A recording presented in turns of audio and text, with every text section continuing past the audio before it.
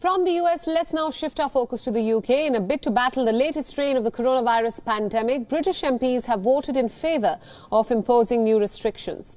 The British Prime Minister Boris Johnson faced the largest ever rebellion from within his own party, putting him under further pressure.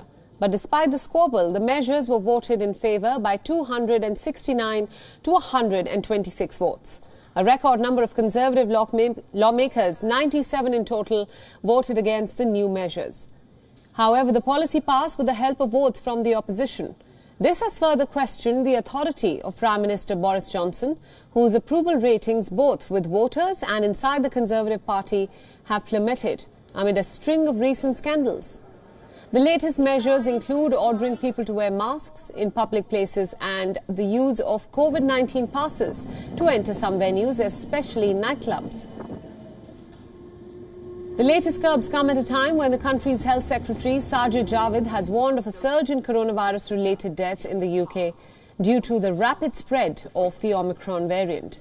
He further said that the variant now accounts for 44% of all COVID infections in London.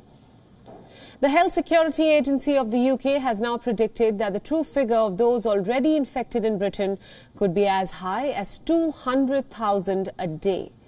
As of now, there are 5,346 confirmed cases of the Omicron variant in the country. But amid a surge in cases, Londoners are now queuing up at vaccine centres to get their booster jabs. This also comes a few days after the British Prime Minister warned that the latest Omicron variant could overcome the immunity of those inoculated. Some Londoners also complained to have to scramble to get an appointment for this booster shot. We have been checking the website for a few weeks to make sure to see if we could get an, uh, an appointment. But as soon as it opened for the under 40s, we went for it and booked the first appointment at the first place we could find. Um, but it seems like there's a real scramble at the moment. Um, there really aren't any appointments available, and we've been checking to see if there's anywhere else.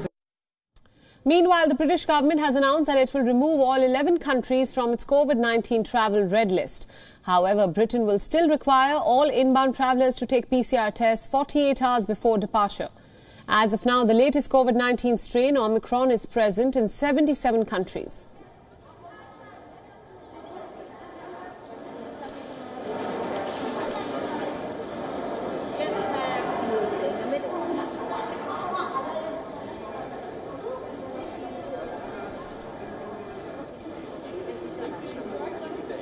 WION World is One is now available in your country. Download the app now and get all the news updates on the move.